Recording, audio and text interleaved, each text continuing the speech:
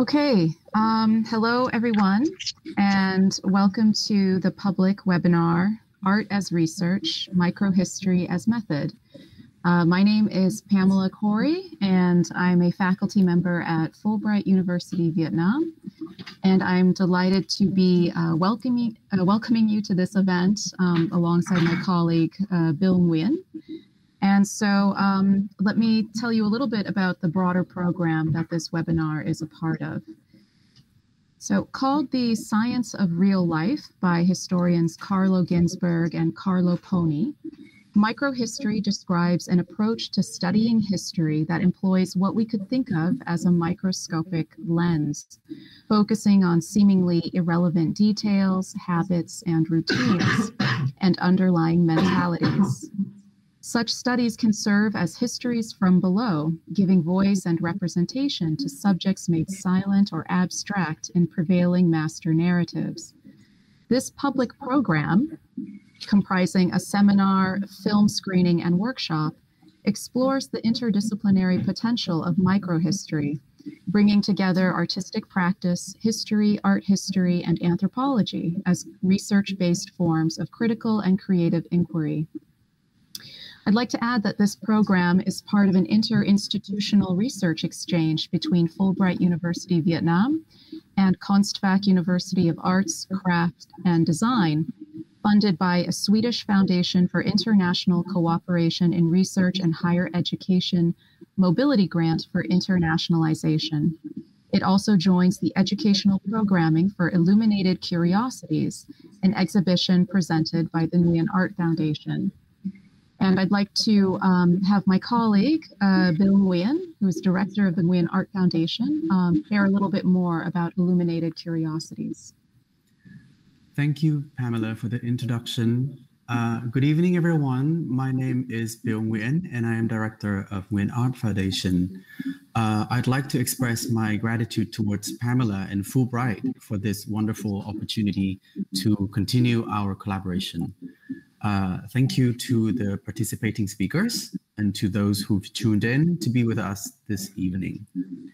So you might have heard about the work that we do at Nguyen Art Foundation. Uh, for those who haven't, the foundation's mission is twofold. One, to collect and preserve artworks of high criticality and significance throughout the different eras of Vietnamese art and to share them with our public.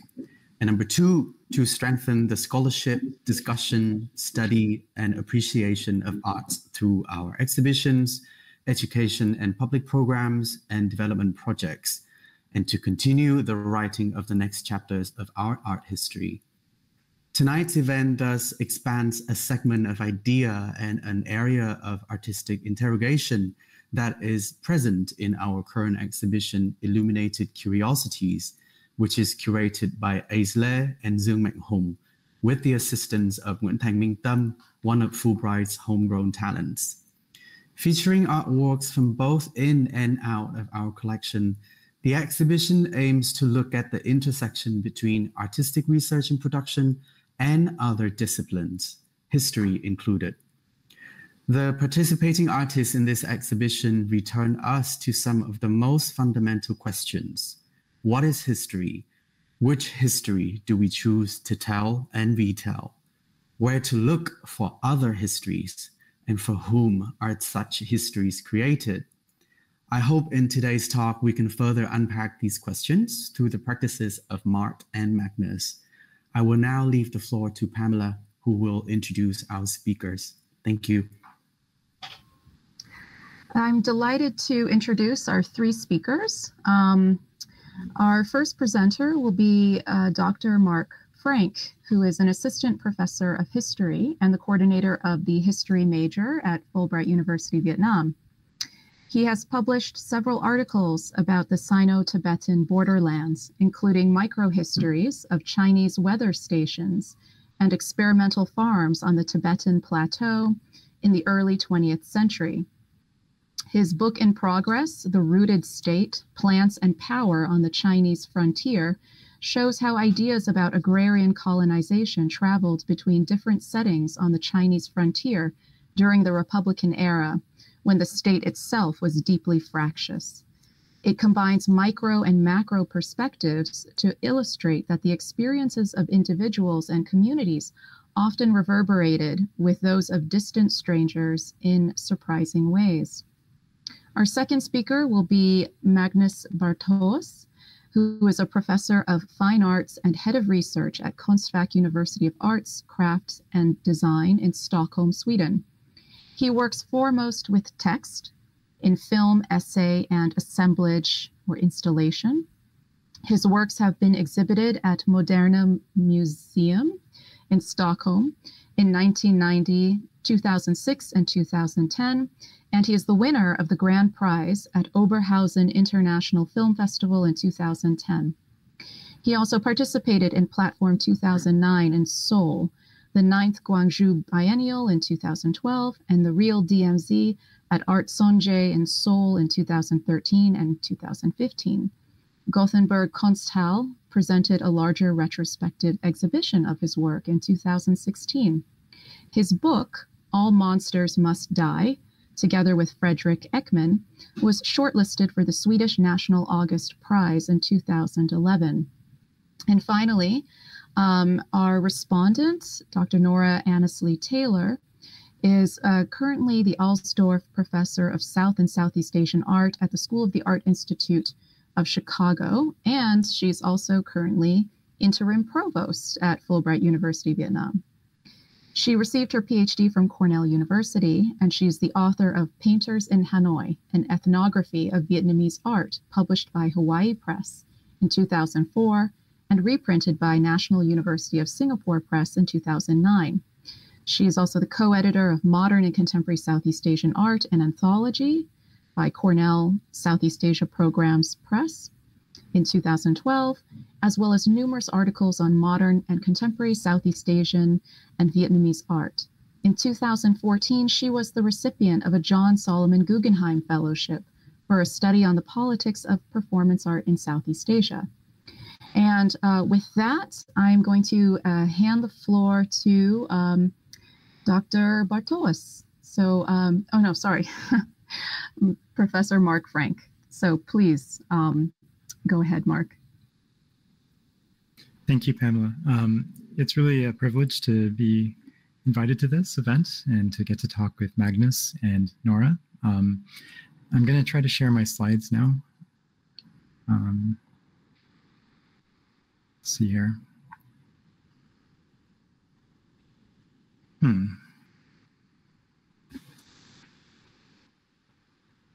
Okay, I think I've got it. Okay, um, can somebody let me know verbally if you can see my slides full screen? Yes. Okay, great. Uh, so um, yeah, I I think that often um, um, the humanities, scholarship in the humanities is most productive when people take something from one discipline and uh, experiment with it uh, in a different discipline. Um, and that's true of, of historians taking things from other disciplines and of other people taking ideas from historians. Um, and it's true of microhistory.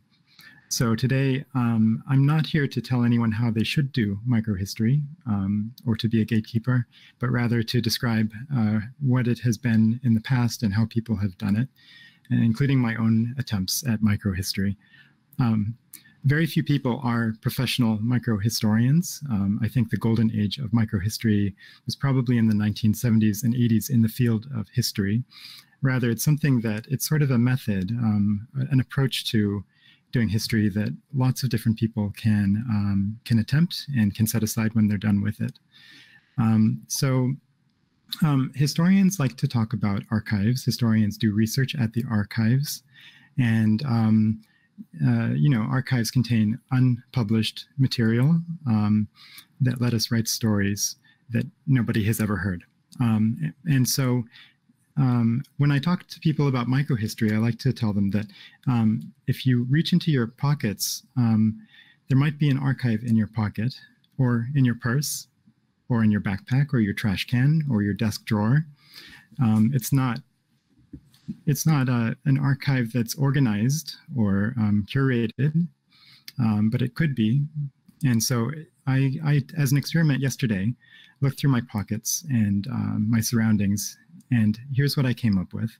Um, if you were to take these things that were in my pockets and uh, lying around my desk, um, you could start to put together a basic story about what I've been doing and where I've been recently. Um, there are uh, documents here from four different countries, um, four different languages.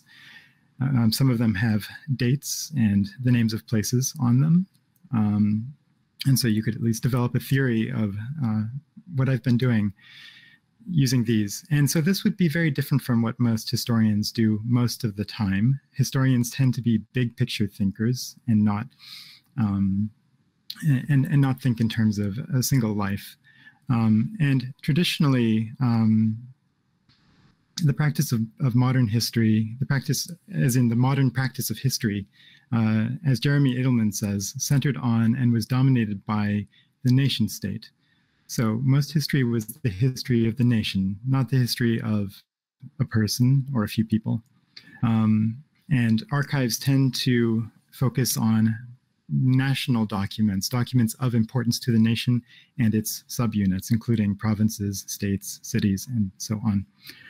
But in the late 20th century, there was a reaction to this, people trying to do something different. And the results were, among other things, the field of global history, people trying to write um, histories beyond, above the scale of the nation. And here are just a couple of well known examples. And on the opposite extreme of the scale, uh, microhistories. And here are a few of my favorite microhistories. Um, unlike global histories, which think on the largest possible terrestrial scale, uh, microhistories tend to think on just about the smallest possible scale. A very simple definition of microhistory is uh, history on a small scale. Um, but as I'm, I'm going to explain today, um, that's not really all it is. It's not just history on a small scale. There's a little bit more to it. Um, both global histor- both global histories and microhistories um, often describe themselves as a response to the national history, um, which has, as we said, been the dominant form of historiography uh, until quite recently. Um, and when I, I, I, I, do a microhistory session uh, for our Fulbright undergrads in global in Fulbright History Lab, and to explain what it is, I try to explain what it's not. Um, so these are the things that microhistory usually is not. They're quite similar, but they're different. Um, so there are narrative history and historical fiction. Um, these are genres of history um, that are designed to entertain above all else, and they can be great. Um, so I recently read a book called uh, The Devil in the White City about a serial killer in Chicago during the 19th century. Um, and it, it, it's a really fun book, um, but its primary aim is to entertain, and it takes liberties with the record, with the archival record, that most academic historians would not. Um, some would say it's it's dis- distorted and inaccurate in significant ways because it, it aims to entertain. Um, there's also serious biography, um, the history of a single person like Winston Churchill or um, or Ho Chi Minh, and um, and this is this can be quite similar to microhistory, but the difference is that biographies tend to be biographies of well-known people, people who are particularly important to the world. Um, their histories from above most of the time. Microhistory is usually history from below, histories of people nobody ever talked about until somebody came along and wrote a history of them. Um, microhistory is also a response to something called social history that became popular in the 1970s, maybe a little bit earlier. Social history is the, the history of ordinary people. The difference between microhistory and social history is that social history tends to deal with the people or society writ large. Um, it's it's still history on a big scale, and it re- relies on a lot of quantification and abstraction of the people. But as microhistorians will point out, um, there is no the people um, when you look closely at the record. Um, people are individuals, and uh, people have individual cultures. So do families and and uh, small communities. Um, and so, I think microhistory is probably closer to the genre of ethnography than any of these, um, and it, it takes inspiration from ethnography in anthropology. Um, some people would describe it as the anthropology of, um, or, or as, as a form of historical anthropology.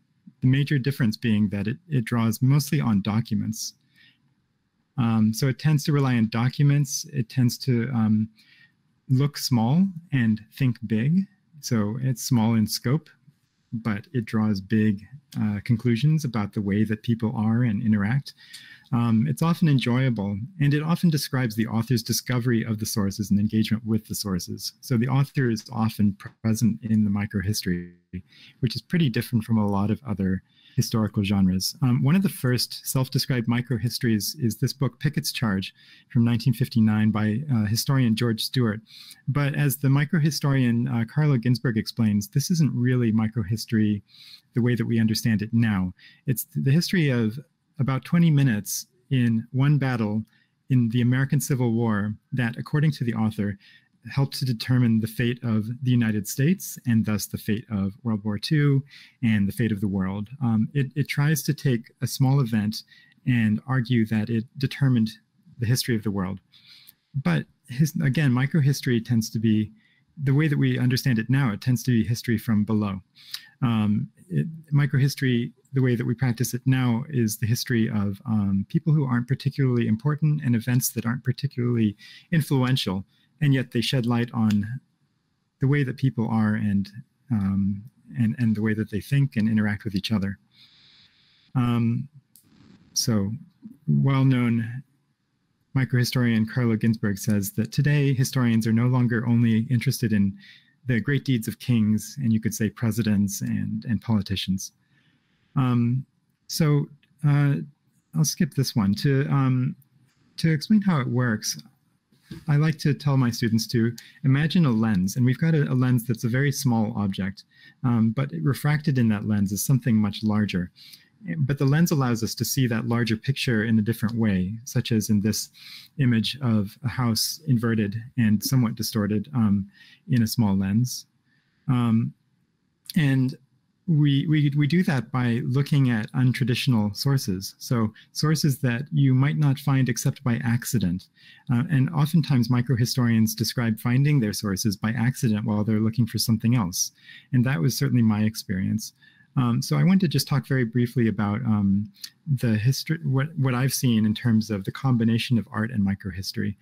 Um, so uh, there are a lot of graphic um, histories that uh, historians use to teach and, and, and, and, that historians just enjoy reading, including um, Art Spiegelman's Maus, um, Gene Luen Yang's Boxers and Saints, and Thi Bui's The Best We Could Do. I've taught with Boxers and Saints and The Best We Could Do, and students love them. Um, I think multiple Fulbright classes use Thi Bui's book. Um, these three are volumes by people who are illustrators who are also writers, but they're not academic historians. Uh, and yet, you know, these are great books. Um, Oxford University Press recently took inspiration from these and others and, and created its own graphic history series. Um, and in all of these books, an illustrator named Liz Clark works with um, academic historians to create uh, basically graphic monographs. They're works of original res research that are illustrated. Um, so these are collaborations between artists and illustrate an illustrator. Um, and uh, the Great Hanoi Rat Hunt is a, a, good Vietnam history that I've used to teach, um, and I, I, like it a lot. It, it, tends to be popular with historians. I'm not sure how it's received in the art community, um, but I, I, I really like these. And, and so when I wrote my last uh, article, which is a micro history of a Chinese weather station in Tibet, um, I, I came across these sources again by accident while looking for something else. I was looking for um, documentation about the weather in Tibet and came across personal accounts of weather observers, most of whom were suffering badly in the cold and with loneliness and poverty and, and so on. Um, and so I decided to work with an illustrator named Lodan Rojas, and I, I, gave her both documents and some historical visual materials. And she produced um, this is my rough sketch, and this is her much nicer um, illustration that was one of two illustrations that went into my published article. And I, I love these. Um, you know, um, I had to pay out of pocket for my illustrations, for her illustrations, but um, I just think they really brighten the piece and bring it to life. Um, so I guess my questions for as as a historian, I'm very open to other ways of engaging with the art community.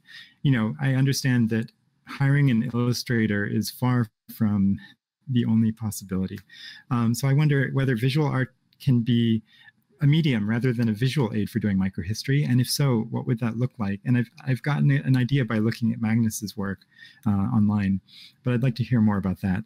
Um, I'd also like to know whether artists other than illustrators would like to work with historians, whether there's a desire for that, and, and if so, how? Um, and uh, how can we do interdisciplinary microhistory without losing what makes it distinctive? So I, I think as a historian, the one thing that I would worry about is that it would just be become uh, the history of, or you know, so it would just become sort of uh, personal accounts, but without the sort of bigger picture. And finally, um, this is a just something I've been thinking about recently. Uh, what do we do about AI generated art, text art? Um, so this is um, intriguing to me as a historian because the ability to convert text to a visualization instantly um, is really powerful for teaching, possibly for um, bringing my work or or the documentary record to life, and, and just for thinking about um, thinking about the past. But at the same time, I'm sensitive to the ethical issues surrounding AI-generated art, including the fact that it draws on human-generated art without citing it. Um, and you know, the same thing could easily happen to historians. It could be that um, AI will generate historical writing someday. Um, but uh, in closing, um, there are certainly cases in which um, art provides the inspiration or the basis for academic conventional microhistory. And in, in, this case, um, the French film Le Retour de, The Return of Martin Guerre, Le Retour de Martin Guerre, um, the one of the consultants, the historical consultant for the 1982 film, Natalie Zemon Davis, who's a Canadian American author, proceeded after the film to um, turn her research into a book, The Return of Martin Guerre. I didn't realize there was a film until recently because this book is so well received um, in the historical community. Um, but I see this as a very fruitful collaboration between uh, art broadly defined and academic history. Okay. Um, I hope I haven't gone too far over time. Let me see. Um, but I'll, I'll stop there and, and get and let uh, Magnus take over.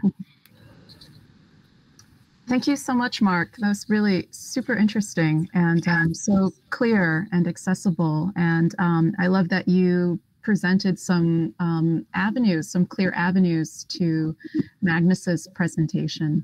Um, so on that note, I'd like to hand things over to uh, Professor Bärtås. Yes, thank you, Pamela. And thank you, Mark, for that great introduction. It was very helpful, um, very enlightening, and, and great examples, I would say. So I will share screen now.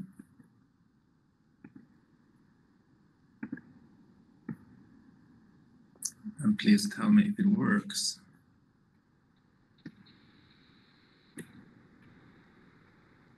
Are we good there? Yes. Fine, thank you. So, so I, I want to share with you some of the experience of, of running a research project at Konstfack in Stockholm a couple of years ago. Um, this, this, was a project funded by the Swedish Re Research Council. So idea was to gather knowledge from artistic practice and artistic research and the field of history. So that resulted in, a number of artworks, screenings, seminars, and, an anthology, which you see here. And I will tell a little bit more about uh, what happened in this project and some of the questions we encountered. And Carl Ginzburg has been mentioned. He is father of, of history, although he wouldn't like that term or he would deny that himself. But as a part of our research, we went to see him.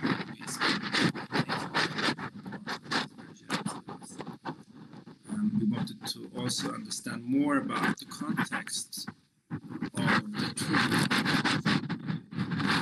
Uh, sorry, sorry to interrupt, Magnus. Uh, we're getting a lot of static. It sounds like something's moving against the microphone, maybe. Oh, now it's fine. Okay. Is it better? Yes. Did you hear me? Did I? Should I repeat something? Maybe. Maybe just repeat the last uh, minute. Yeah. Okay. So we went to Bologna to talk to to Carl Ginzburg. Mark has, in a way, introduced him already, um, because he is such an important figure in, in this field. And we wanted to understand the context of his his work uh, from the 70s. And, and he spoke about um, how this was has to be understood in the context of, of decolonization, student protest, and increasingly strong criticism towards some of these supposedly Western values at the time development, progress, and modernity. So he and his colleagues they turned the spotlight towards the Middle Ages, basically, and the early modern era rather than modernity. Um, they turned towards the elusive rather than tangible, and towards the exception rather than the rule, and especially the everyday normal exception, as they call it. And this, in this context, uh, it's interesting to look at the book that Mark introduced, "The Cheese and the Worms." Um, I will tell you a little bit about the content because it's interesting to understand, perhaps from from that book, uh, something very important about the method and it's in a way a biography. And Mark already mentioned that biography has a very important role in microhistory. But we can speak about biography of an unknown person. Um, for myself, regarding my own practice, I've been very occupied the meaning uh, by the meaning of biographies and, and work with that genre in different ways. So the book is about Menocchio. He is a miller. He's running a mill, and he would then meet people you know, from very different social strata. You know, he would he would talk to peasants and to bourgeoisie people. Uh, and Menocchio, he has a very strange ideas. He has his own strange cosmology that he is sharing with his customers. Um, and that cosmos was in his way of thinking, in his fantasy, um, created from the beginning in the same way as cheese arises from milk. So in this mass, worms showed up. They appeared to be angels. Um, so you can understand that this was not uh, very popular um, by the Catholic Church at the time. The, the miller was warned by the church for his blasphemous ideas for, for heresy. But um, for, for Menocchio, the miller, it was perhaps too compelling and too sensational what he has discovered, so he couldn't help. Um, he promised to get better. He was warned by the church, but he couldn't keep his promise. He was executed by the Inquisition. Um, so Carlo Ginzburg been working a lot with opening up the Catholic Inquisition archives, for instance. But the major question that Ginzburg asks here is, well, it's a fantastic story in a way, and it's very also entertaining to read this book. Um, but the really important question is, how was Menocchio able to think like this in a period of this time? And where did his ideas comes from?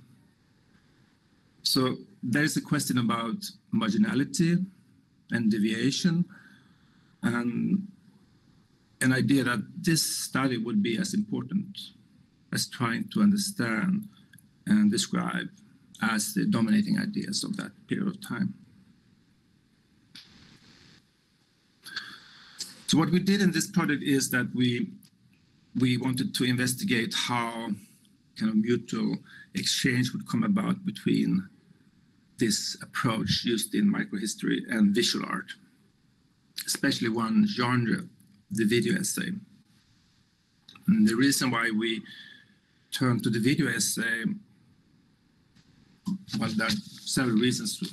One is that my own dissertation is partly about video essay. Um, but we thought there was something of a very strong resonance in terms of methodology. Uh, for instance, if we, we, we look into the work, just to give an example of, of German filmmaker Harun Farocki, uh, he speaks about how to reclaim a text from images and how to speak and listen to images. And there's a very strong resonance to microhistory when you see how he works with details and how the, these details can be connected to larger courses of events.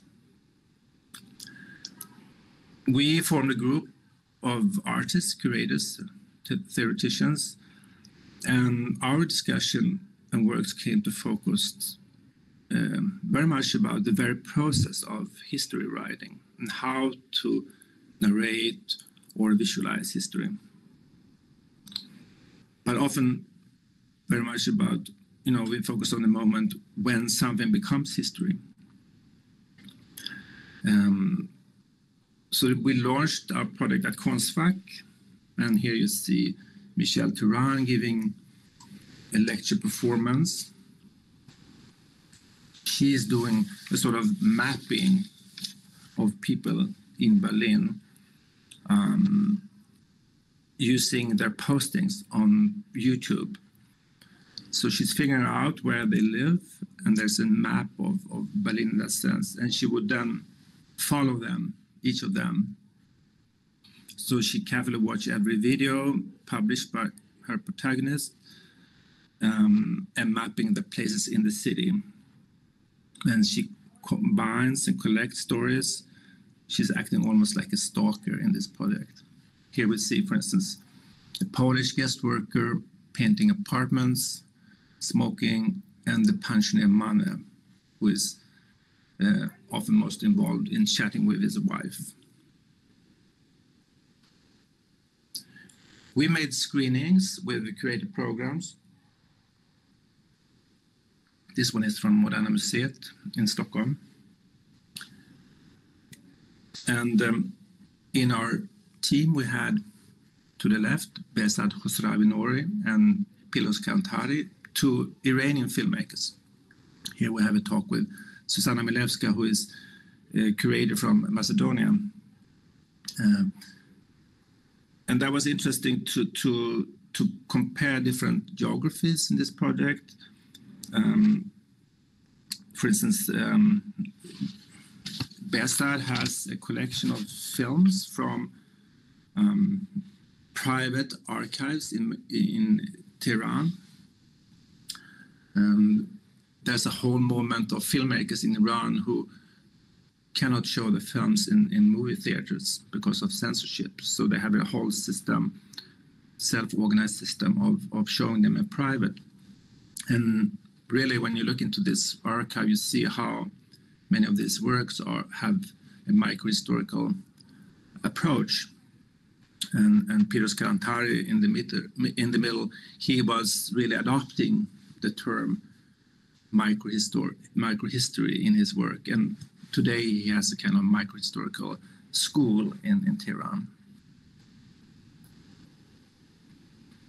We also made a field trip to Skopje, and the capital of Macedonia, or rather North Macedonia, which is now the official name.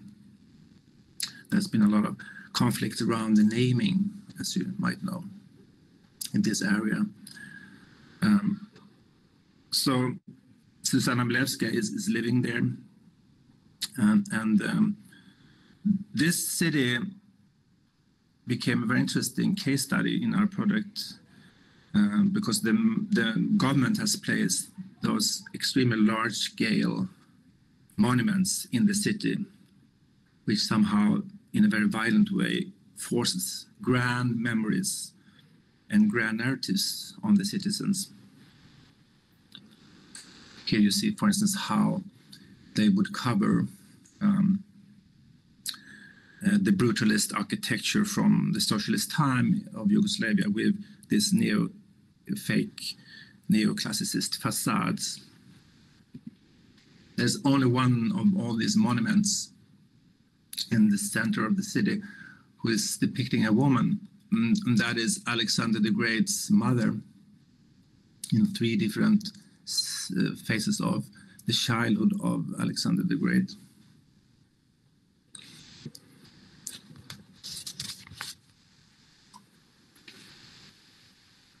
So there's very little space, according to Suzana Milevska, for, for artists or architect, architects and researchers in Macedonia for doing microhistory in this context. Because everything is here about the grand, spectacular history and this huge reclaim of the heritage of Alexander the Great. So this became, became almost like a counter um, uh, pole to what we were doing in our project. As a practice-based uh, research project, it was of very great importance for us to to fund, um, discuss, and promote the making of the artworks within the project. And these are examples um, by uh, Lina Selander installation at the Venice Biennial. She made four films actually during the three years. She was very productive. Um, so she showed her works at the Venice Biennial for the Swedish pavilion at the time. I did two works by myself.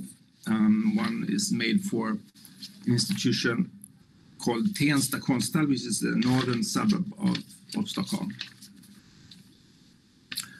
Um, so it's called The Miracle of Tensta. Um, that is English title. So what happened was that um, this is based on a spe specific event, 2012, when a young girl borrowed her mother's smartphone and took a photo of a uh, very peculiar cloud in the sky. And she showed it to her mother, and the mother was very convinced that this was an apparition of, of the Holy Mary. And this image started to circulate on social media and then led to a lot of people gathering in Tensta in the local Syrian Orthodox Church, convinced that there would be more miracles. And once again, it happened. Um, the shape of a face appeared on the windows of the church in the condensation. So my film um, consists of a stage reading of a manuscript made of discussion threads on the internet because the major newspaper in Sweden, they actually wrote an article about this event, but then it, it very quickly disappeared from the public discussion.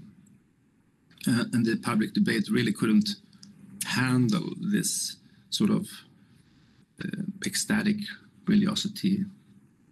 Um, and this was actually the interesting part for me in the context of microhistory that that one group of people, um, the Syrian Orthodox Church, uh, officially wrote this event into the history of miracles of their church. They took a decision. Um, but in Sweden, it became a very marginal event, is not even mentioned in the history of Sweden. So in the majority society, this history was expelled, if you like, or, or, or was never mentioned again after this event. Um, the other film is um, a sort of biographical film, and that is about a person in Tokyo who calls himself the last Jew of Tokyo. He is a Japanese citizen. His family has been there for three, at least three generations, and his name is Johnny Walker, um, but he calls himself Johnny Walker. He's a quite famous character in, in, in the Japanese art scene. He's also this name is also a character in Haruki Murakami novel. And Johnny Walker is very pleased with this coincidence and claims that Murakami has modeled the character in the book on him. And he also claims that he is the only left, the only Jew left in Japan, descending from the old Jewish families that have stayed in the country for more than three generations. Um, so through um, this biography of Johnny, I tried to understand something about the history of the Jews in Japan in a way. Microhistory, um, I'm going to mention also, I, I, will show, if for those of you who are interested to see these films, they are actually available on my, my webpage, and I will share that with you later on. Microhistory, after this research project, um, which resulted in these artworks and this anthology, we we started an independent course at Konstfack. Um, um, so in this course, we run it for the third year now. Student comes from very different disciplines, from journalists, from, from writing, from crafts, art, and design. And I think we discovered that it's been very um, fruitful to organize your own work um, according to some kind of microhistorical uh, model that you start with a detail and from that detail you unfold larger courses of events. This is an exhibition we made from one of the year's exam work in the course. In the, you see here, for instance, um, a designed archive for um, um, image archive from a porcelain factory. Just to give one example of the student works, so you know a little bit how how they would work within the course. Um, if we have time, do we have time? Or because I'm yes. just yes, okay. we have time. So in in the Swedish regular apartment area, you would find this kind of freestanding metal construction. Um, it's not far back in history. The tenants used that for whipping carpets, but today no one is using that object anymore. It has become a, kind of obsolete uh, sculpture outside in, in the common space of between the houses. Sometimes maybe children use it for, for playing or climbing, but, most often it's just empty around this place. Um, so the student made um, investigation about this object um, and, and the history, the meaning involving questions around and unfolding questions uh, around housing, hygiene, women's household work, some questions around the public space, and also the very aesthetics of the object. And the student work with text, sound, photography, drawing. This is a whipping, very typical pattern of a whipping object you use. Um, so that was just one of the many examples of, of, of, of student works in the course. Um, and I'm very much looking forward to to also have a workshop here in in Ho Chi Minh City on, on, on Sunday to try to to discuss these possibilities of, of unfolding from the start of a detail. Yeah, I'm I'm done with my presentation. I'm gonna stop sharing if I manage. This is my web page, by the way. All right, terrific. Thank you so much, Magnus. And uh, we will now welcome a response from Professor Nora Taylor. Um, I just wanted to mention that if there are any questions from our viewers, you can type your questions into the chat box on Facebook and they'll get to our speakers that way. Um, so over to you, Nora. Thank you. Uh, thank you for inviting me to partake in this great event, and I'm uh, learning a lot already, and I'm very pleased to hear more about uh, Mark and Magnus's work um, that I hadn't been familiar with. So I want to start uh, actually a few th- with a few things. First of all, Mark, thank you for um, helping to explain to the audience what microhistory is and giving an example of your own work, but also ending your presentation with questions. And so I'm going to actually start with those questions uh, in a little bit.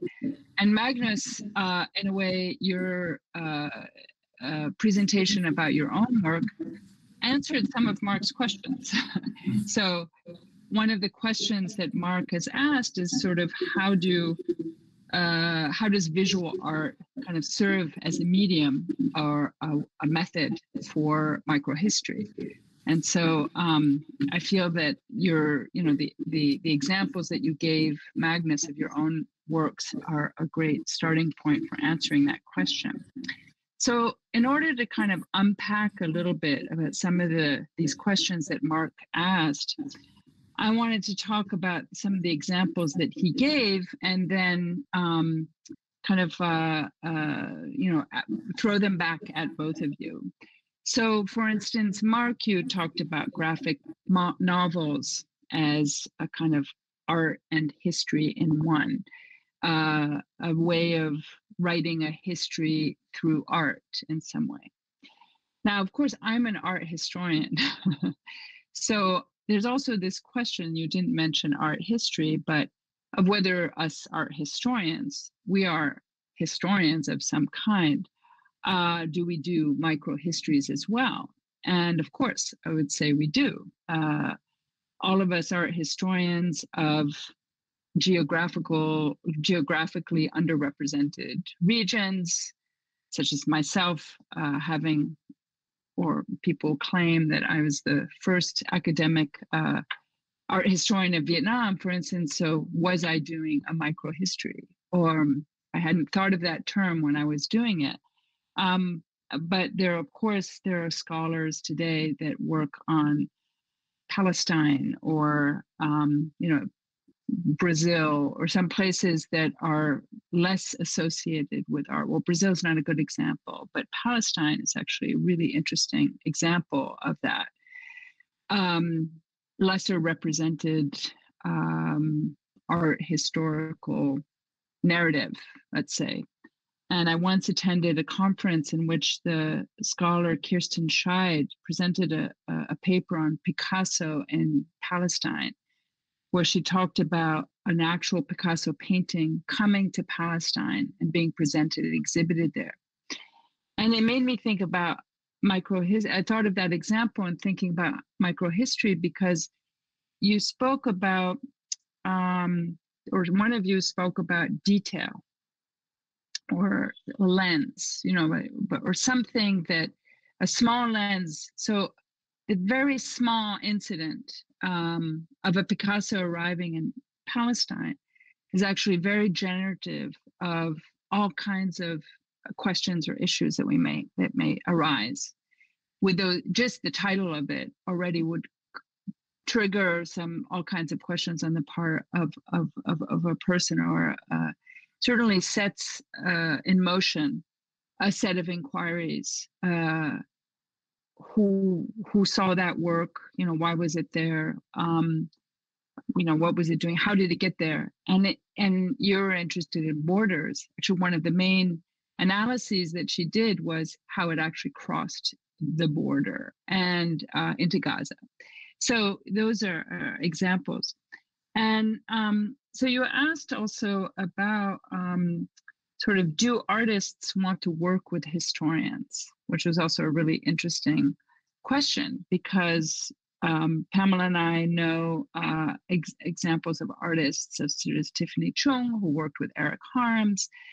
But there's also uh, a famous essay by Mark Godfrey called The Artist as Historian that says it's not so much that artists are working with historians, but artists are, are historians. So this is different from art history, where we scholars are um, uh, doing histories through art and using artists as examples of histories, or we are trying to contextualize certain artworks within a history or historical narrative that could be seen as a microhistory, of course.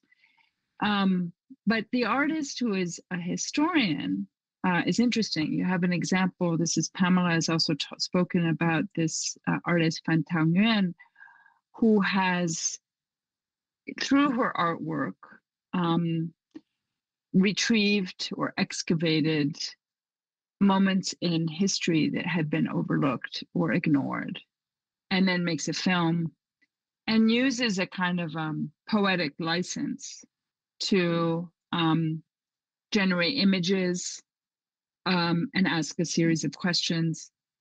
She doesn't claim to be a historian, but obviously by by taking that hist- historical material, I would say that she's using archival material, a photograph that she found in the archive or a text, and then pursuing it as as research and then making an artwork based on that.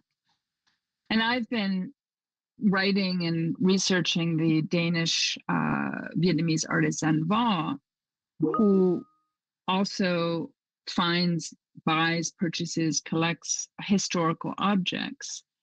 And I've been trying to try to make sense of why and how he uses those objects and how they generate narratives that the artist is not producing those narratives. It's just merely that he's bringing out a letter signed by Henry Kissinger, and then he's calling on the audience to kind of generate that kind of history, or uh, not history, but a narrative. So that's slightly different. You mentioned also, both of you mentioned stories, narratives, and then Magnus also talked about detail. And I was reminded of a book that I once read by Naomi Schor called Reading in Detail. And she uses a few artworks and as examples where she zooms in on details of particular artworks and reading them uh, as as evidence of femininity, of uh, aesthetics. Um, I, I don't recall all of the details, but I do know that it was, I was captivated by this idea that this was a different way reading a painting, which of course we art historians do all the time. But just the word detail, so that means that, and I, I think about that with Vo too, it's kind of one little item generates a, a bigger. So a micro generates a macro story. So, you know, these are some thoughts that I had as you were uh, speaking. And um, oh, and and Magnus, also thank you for for your work. One, uh, these are really I, I can't wait to look them up some more. But when you talk about obsolete objects, I was also reminded of um, uh, a class that actually is taught at the School of the Art Institute of Chicago is very famous. It's called Abandoned Practices. It's a performance art class, and students are to research an obsolete object or a mechanism or a story or something that is no longer in practice, no longer used, and create an artwork based on it. And I've attended some of the final projects that the students have made, and it's fascinating. They've done things like uh, the one I attended, the students had researched the pneumatic. If you remember that people sent mail in tubes and you know air projected, and they made a fascinating, absolutely fascinating project based on this idea. So, so to answer some of your questions, Mark, you know about what you know, how do artists generate you know micro histories? These are some examples, I think. So my question to both of you then is one that goes back to something that Mark uh, brought up too, which is thinking about microhistory as method. But I would like you to elaborate a bit more, like what is your method? Um, you said something about chance, encounters, something, Mark, but both of you, um, maybe one at a time or whoever wants to go first, uh, I would be interested in hearing um, what your methods are. I'm sorry if that's too vague, but choose to answer it whichever way you want.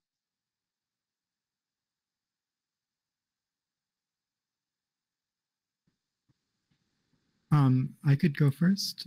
Um, but uh, yeah, that's that's a great question, and I, am really interested in hearing about Magnus's methods, especially after seeing your presentation. I'd, I'd like to hear about how films like uh, The Strangest Stranger were made. Um, but I, I can uh, briefly describe. Um, okay, so I um, in in the cheese and the worms. To come back to that, uh, Ginzburg describes very clearly his method and how the book came together, um, and he was writing a book on uh, witchcraft and on the Inquisition, as in the Catholic Inquisition into witchcraft, um, and kind of looking at that systematically when he came across this one trial record that was just bonkers about um, this miller named Menocchio, which is uh, which Magnus described really well so I won't describe it again. But yeah, Menocchio has his own view of the universe, his own his own cosmology um, that it, it, combines. It seems to combine Christian and and possibly Islamic and pagan and other ideas, um, and it gets him killed in the end.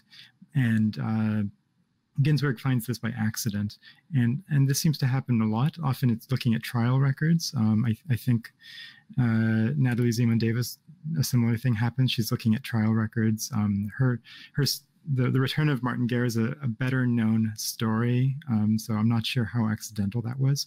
But in my case, um, I was trying to reconstruct the weather of the Tibetan plateau, or at least eastern Tibet, during the 19 30s and 40s. I'm an environmental historian, um, and so I, I, wanted to know, you know, what was the temperature? Um, temperature has the, in fact, the temperature has um, obviously increased over time um, because of global warming. And so, what were, what were temperatures like um, in the 1930s and 40s, and how did that impact agriculture and other enterprises?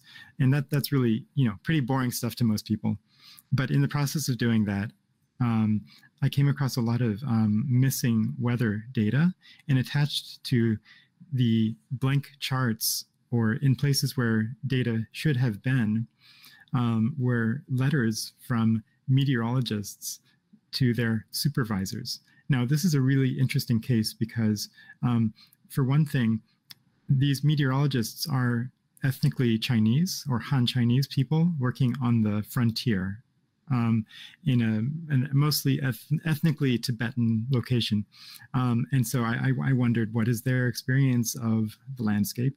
Um, secondly, these are people who are not particularly important, um, and yet they're highly they're they're literate and they produce documents because that's their job. They're weather observers. They have to write things down, and so it was a rare window into how um, sub elite we could say maybe ordinary um, Chinese people experience the frontier. And it gives us a very different picture than the accounts of more elite Chinese observers on the frontier, most of whom find the frontier exciting and exotic and in some ways pleasurable. These non elite observers um, tended to find the frontier to be boring and lonely and miserable and possibly uh, life destroying. There, you know, a couple of people describe it as life on the frontier as having ruined their lives. Um, and so um, I, yeah, I just kind of worked with sources that I, I found by chance and pursued those sources through the archives um, and came out with what I don't think is going to be mo- my most widely read um, publication, but it's my favorite that I've written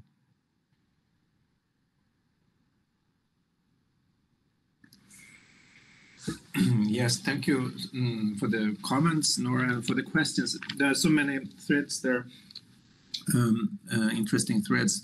But I could speak a little bit about the methodology, the methods, because I, think we ended there. That um, and I, yeah, when it comes to the film of the Stranger Stranger, for me, I'm I'm very um, marked or influenced by this conceptual tradition that every artwork itself has its own methodology. And also that you have to invent your own methodology for each work and they could be very different. Um, but there should be some kind of resonance between the methodology and the work itself. So in this work the background is i, I know this person for, for 20 years. Uh, um, and i heard his stories over the years So, so the person, uh, Johnny Walker, he's, he's an extremely interesting storyteller. Um, but I also hear that he changes the story all the time. And, and so they are floating around. But in this work, I had this idea that I really wanted to actually know what was true about all these stories he, he produced. Um, so it, was in a way, I also used the idea of, some kind of historical truthness in this work. So I interviewed people around him, and I interviewed um, also people knowledgeable about the use in in in Japan, uh, even scholars, um, and from that point I wrote the manuscript so in, in my works, it's very much about the moment of writing, which is guiding how the, the work is done. So in the film, there are people speaking as if they were interviewed, but they are actually reading my manuscript. So I used their, um, I mean, they had to agree with, with the manuscript, but they're actually reading the manuscript. Um, in that case, I control the narrative of, of the story and I think that part is for me extremely interesting. Um, the idea of writing and writing history. And, and I would have turned that question that you had a little bit before, Nora, how artists work, work with history, but I would also say that historians work with art in a way, because historians they write, and writing is is to exclude mostly. It's very little piece of writing that is including. It's almost about excluding. I mean, that's a major work you do. Um, and if we look at the present and the past, it's chaotic, of course, it's psychotic. So what you write is a very tiny fraction of reality, which means you have to, to compose uh, something. And in that sense, every historian is a writer, every historian is a creative person. Um, um, and um, Carlo speaks a lot about this um, when we met him. He speaks about the literary quality of, of history writing. He's very close to lit- literature himself. His mother was Natalia Ginzburg. She was a very famous writer working with Pasolini and Italo Calvino in the Einaudi uh, publishing company. So he's very he's very influenced by, by this tradition of writing and, and he he is very open with this idea of, of the historian as a writer. So that also creates a common ground for for for two creative fields: the visual arts and the creative writer. Um, and of course, there's been a large discussion within historiography about um, the idea that writing history is actually creating fiction. Not that history is fiction, but the very moment of writing always create fiction. There's always a beginning and the middle and the end. So there's a plot. Um, yeah, maybe Mark recognized this, yeah. or both of you as as also yeah. as art historians. Absolutely, I I think about that often when I uh, interview artists and or I I speak with artists and exchange thoughts and and visit their studios. That the process of making art and the process of writing anything is the same. You know, so mm-hmm. I, I agree with you. And I often think about that, even though I wouldn't call scholarship art necessarily, but I, I understand the process of, of trying to work out, work through something, uh, work through ideas um, to try to make sense of something that impressed you or intrigued you. Um, asking questions about something and then trying to figure out how to answer them. This is scholarship and it's art making. So I think, uh, and you know, and it's also making visible. I think one of you were talking about, I think, um, Magnus, about the tangible and the intangible. I think that we're trying to make tangible, you know, uh, or visible. I think artists are trying to make visible things that are not apparent and uh, so I think that that's where scholarship and, and art making come together as well. Now, I would love to talk to you both, but I have um, and I have the privilege of the good fortune of having dinner with Magnus in a little bit. Mark unfortunately won't be with us. So I'd like to turn the questions to the audience so that I don't monopolize the conversation. So um, first question is from Taiha. A question for Mark. Uh, could you tell us more about your research? Although it sounds like I asked a little bit about method, but you could you could talk a bit more um, why you started working with the weather stations and what larger conclusions did you draw from that microhistory study? Yeah, thank you very much for the question. Um, so I, I, did talk about this a little bit earlier in response to to your question, Nora. Um, so I, I won't um, take up too much time, but um, I, I, guess I my conclusion was that uh, when historians write about um, empire and its attitude towards frontiers, um, oftentimes we look at state perspectives uh, or elite perspectives because those are the ones that are readily available. Um, but when we look at non-elite perspectives, such as you know the perspective of a weather observer on the frontier, um, we might get a very different picture.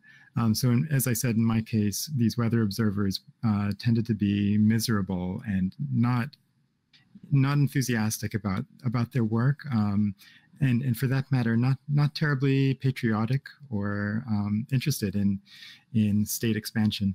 Um, but um, it I, I drew inspiration from uh, there's a, a, book that I love called Imperial Boredom about very bored British officials in, um, in I think India and Africa um, during the 19th century, um, and you know again just fascinating to think about. But um, I, I, also wanted to just talk briefly about the the visualization process in this work. Um, so I guess what I was trying to do was to, since these are, you know, there are no visual materials um, or no good visual materials for what I was writing about, um, trying to work with an illustrator, uh, Lodan Rojas, to turn text into visuals. And so I guess um, I I wonder if um, I, I do recognize that you know the field of art history has been working with visual materials for a very long time, and I, I didn't mean to elide that. Um, but I, I, wonder if the difference is that um, art that historians like me who are not art historians um, tend to focus on turning text into visuals um, and don't think very we don't tend to think very much about other alternatives um, then art historians. In my sort of superficial impression tend to turn visual materials into text that is accompanied by the visuals that they're working with. Um, and then what magnus is talking about in terms of the art of artists sounds to me like it's people working with visual source materials and producing visual materials. And I, I wonder if that typology, you know, text to visual, visual to text, visual to visual, um, is meaningful to to you, Nora and Magnus, or whether that's just sort of my um, misinterpretation of, of how we might be working differently. And then if, if we are working differently in that way, whether there are ways that we could work together better. Um, you, you know, but but anyway, I, I you know I, I, think that Magnus has already answered a lot of that with uh, with his presentation, which I really appreciate. Yeah, we'll have a let's have a conversation sometime uh, uh, offline. I, I, I, like that idea. Um, let me move on to Vin Kin's question. This is a question for Magnus. Since you talked briefly about Alexander the Great, I wanted to ask about fiction and history.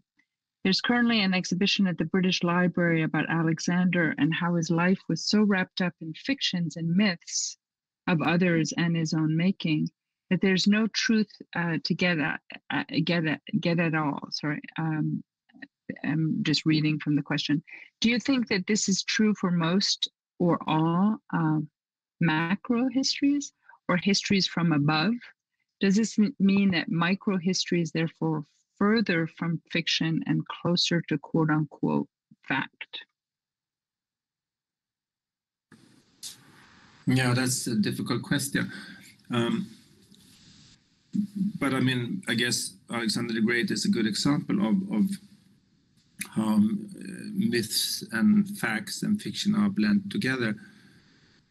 But um, there I think there's some uh, problems with the terms maybe here also that a text, uh, as for instance, the historian, there's a quite famous uh, discussion from an American historian called Hayden White.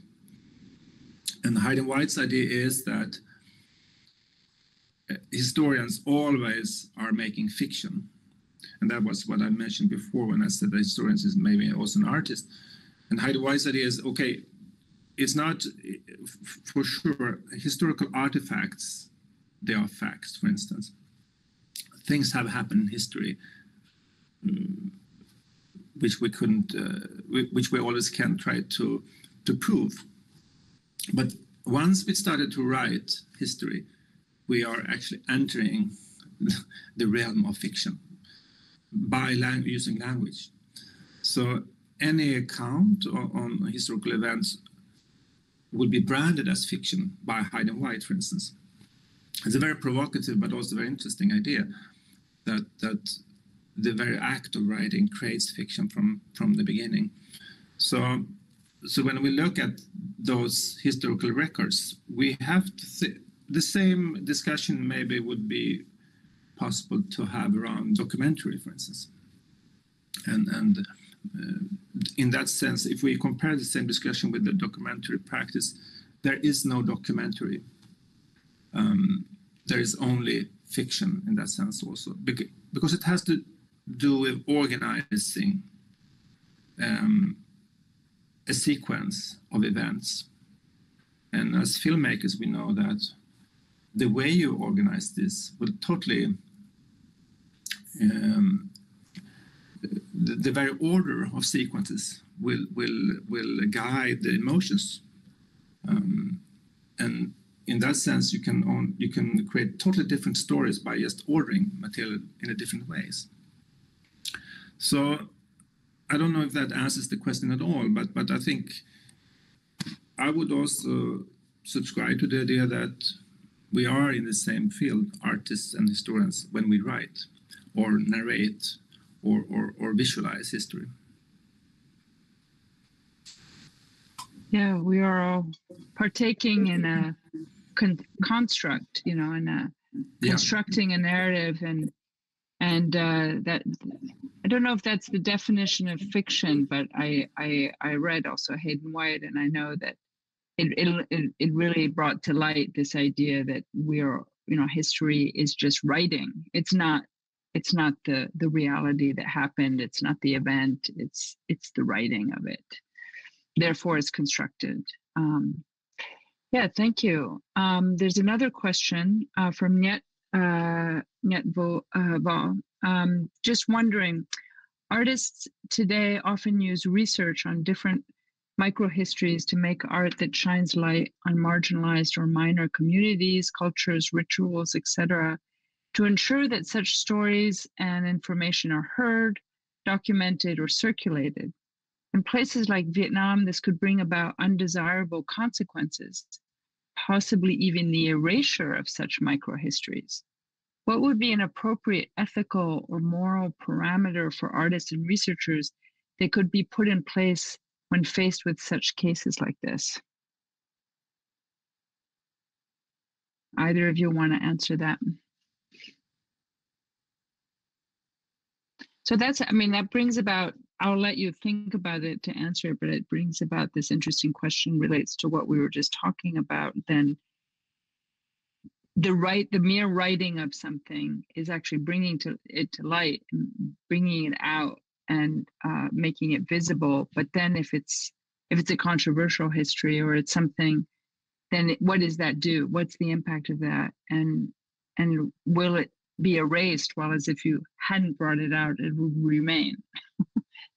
very philosophical question. Yeah, thank you.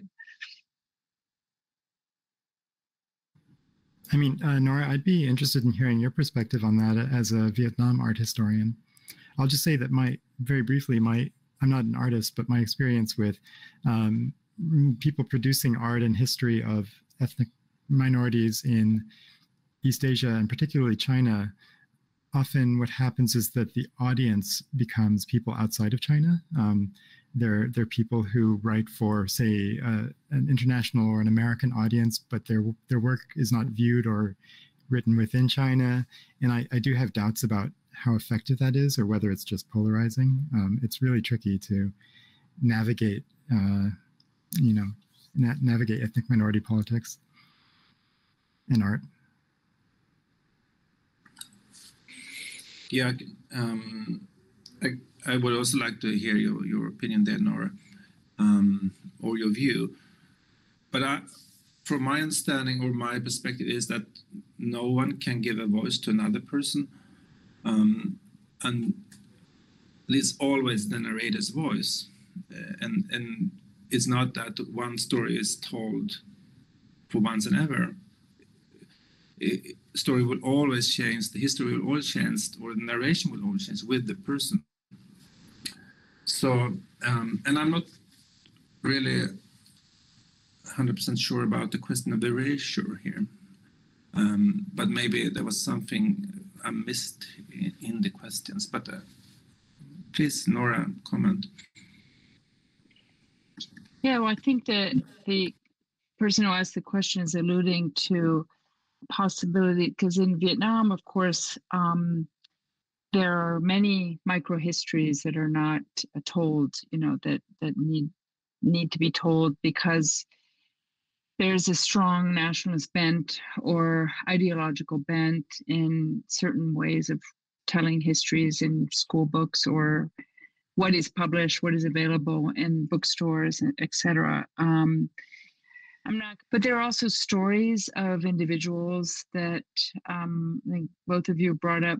Um, you know, something like uh, um, an, an incident that speaks of a you know the horror a, a, particular event that then sheds light on a on a bigger history or changes the course of history. I think you said that, Mark. Um, there are a lot of those such stories in uh, in Vietnam, of course, um, and but the the questioner might be saying that there's a danger, or there's a a danger in doing it for fear of possibly censorship, but there's also a moral, perhaps obligation, not obligation, but maybe some people feel compelled to speak of those specifically because they otherwise would be erased but they run a risk in doing that because they run a risk of maybe causing further erasure, such as a ban, and then causing censorship. So um, there might be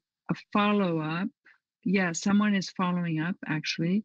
So I'll read that. Follow up on Yet's question. I would like to ask about the method of composing and presenting microhistory research, where at one point we'll reach a conflicting tension with existing macro histories in circulation, taking into account such encounters between contested narratives, and what are your suggestions on this on this uh, dynamic?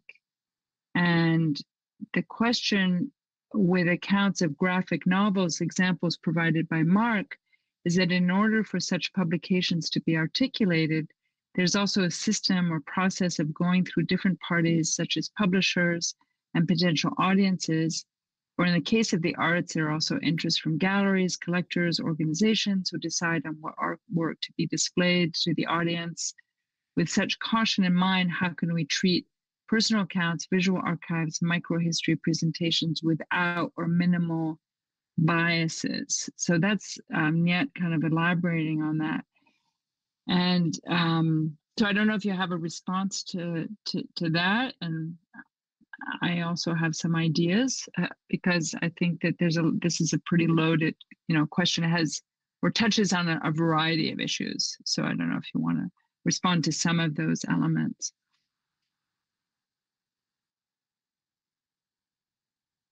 Um, I, I can go ahead. Um, yeah, so in the case of the, I'll, I'll use the example of the Oxford University Press's graphic history series. Uh, and in some ways, I think it's really innovative. Uh, it's not, these aren't the first graphic histories, but it's the first time a major academic press has created a whole series of illustrated histories that are based on original research, I think.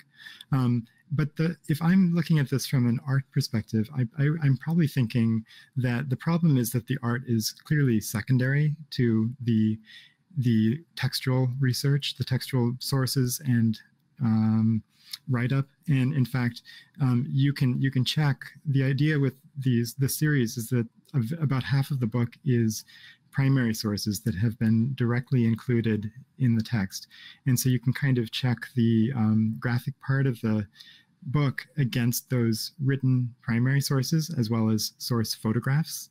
And uh, you know the the reader can then verify whether these things have been faithfully reproduced and so art here is a visual aid it's it's illustration but it's not it's not the kind of art that you know we've, we've seen today in for example from um, magnus's group um, and so um, yeah, I, I guess uh, okay. So I, I, have a question actually on this on this note for for Magnus and maybe for Nora and Pamela as well, which is um, the the relationship between artists, tr- traditional artists, and sorry, traditional historians and artists doesn't seem all that um, well developed to me. Um, looking at this as a, a boring, you know, um, cultural environmental historian, but um, I've seen really uh, path-breaking work by anthropologists who do visual work, and um, so there, there's a whole field of visual anthropology. Um, and so, you know, my my friend Benny Schaefer um, was writing his Harvard dissertation on um, sort of marginalized communities in China, and he does his work, his ethnography, as film. And so he has one film that's about a theme park that's entirely um, staffed by by um, people with, um, uh, I guess, dwarf syndrome, um, and another one that's about a tightrope walker. Um, but these are all sort of pe- people on the margins of society. And he does his research and produces the output entirely in a visual format. He's not writing up a, a conventional PhD thesis. And so I wonder, like, why why history? Is there um, a difference between m- artistic microhistory and visual anthropology um, that I'm not seeing, or is this another way of saying? you know something like visual anthropology um, i'm wondering magnus if you've uh, engaged anthropologists very much and what that has been like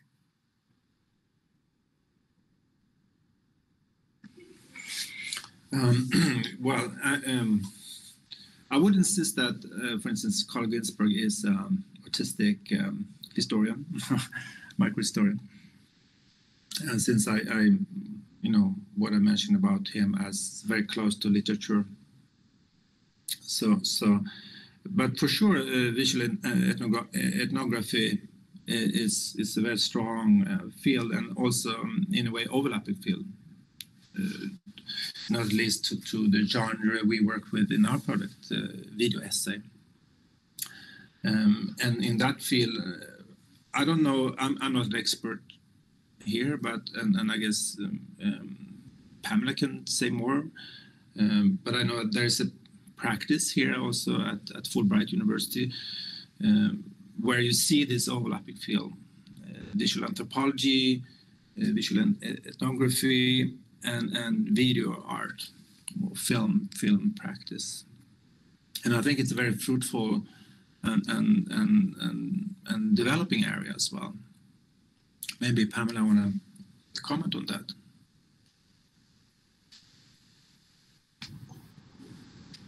Um, yeah, it's actually our colleague at Fulbright University Vietnam, Tram Luong, who should be the one to comment on this. She is um, a visual anthropologist and an artist and filmmaker.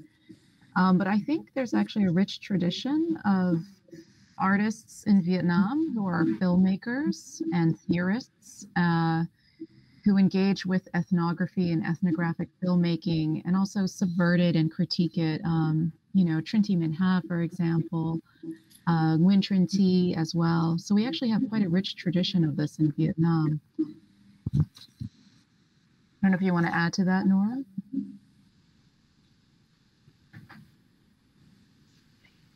Uh, yes, well, I, I mentioned uh, uh, work actually is very different. So I'd say there is actually a little bit of a different. The the the artists that you mentioned are more visual anthropologists, I would say, ethnographic filmmakers than the artists. I would say, uh, you know, um, artists maybe take certain formal liberties more than visual anthropologists. So there's a there's a little bit of difference in intent and audiences too. So there is a difference. Um, now I would like to uh, allow uh, the, our last question to be asked. So I'll, I'll read off the last question because we're running out of time almost. And again, these are these are uh, fantastic questions that I'm sure that we can go on at length. But there's a last question from uh, Hannah Zelike Collin who says, a question for all. Is there a value in micro stories that is not related uh, to understand or see the bigger picture? Except from for the individual working with some story. So I don't know if you want to um, answer, attempt to answer that question. Maybe if you would like me to to um, paraphrase what I understand is this. I guess it's this. Yeah, is there a value to micro history that is not uh, necessarily related to the bigger picture. Maybe a smaller picture. yeah, I could maybe say something. I mean, this is actually a quite common question, I would say. Um, and, and maybe here there is a difference between historians and artists in a way. That also maybe within our group we had a some disagreements around this uh, topic actually. Um, because, for instance, Suzana Milevska, the creator from from Skopje, she always you know pro, uh, promoted the idea that one has to see the link between the micro and the macro. You know, it's only meaningful if we understand how this small courses event or how these details could be connected to something larger. Whereas some of us artists, we, we claim well, actually, we don't have to know that. Um, small story, small fragment, we have to go by intuition here as artists. We maybe we don't know exactly the connection to the larger courses of events, but maybe we feel it somehow. Maybe we can sense it, but we could maybe not always explain it. Um, so we stood a little bit on different sides here, and we said maybe as artists there is no story that is too small in a way. Um, and and we don't need to see the large you know maybe we we can't see the whole connection to the largest history. So um, in a way you can put it in maybe in a little bit banal way and say a good story is a good story for for an artist I don't know if you want to add a last word, Mark. Otherwise, we're right on time at 7:30. Uh, yeah, I don't have much to add. Just that I think that's true, and I, I think that art does things that conventional academic history cannot in making you maybe feel and um, experience things in a nonverbal way. Um, and I, I, really appreciate that. Looking at some of Magnus's films and our projects online, um, you know, I, I, watched one that was a video about, um, well, it's called Biography, about teasing somebody in school, and um, it was extremely thought-provoking. And, and, I can't verbalize the impression that it had on me quite yet, but um, but I love it. So I, I won't add, I won't say any more than that. Um, oh, I have to, I'll have to watch that uh, I'll ask you for the reference. Okay. Well, thank you uh, both, uh, and these, and and thank you to the audience for such provocative, thought-provoking questions. And uh, and it seems like we haven't even begun to touch the or or reach the the depths of this question of microhistory, but we have two more days to do so um, with the program on uh, tomorrow and or Saturday, sorry, and Sunday. Pamela, I, I'll, I'll hand it back to you. But thank you both, and thank you for organizing this. This has been fantastic. Yes, so we will have a film screening at Fulbright on Saturday. Um, unfortunately, registration for this program is closed. um, but we also have, yes, we also have a workshop on Sunday, and that is for students and artists. But again, the registration for that one is closed as well.